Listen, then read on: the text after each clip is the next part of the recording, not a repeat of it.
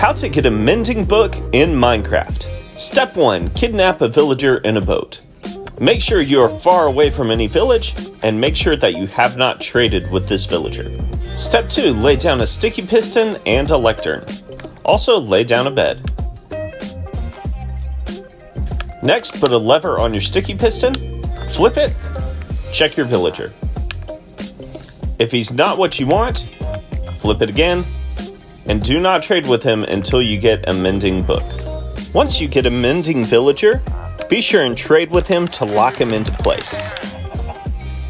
And of course, once you get enough emeralds and the right book, you can trade for your mending book. Thanks for watching!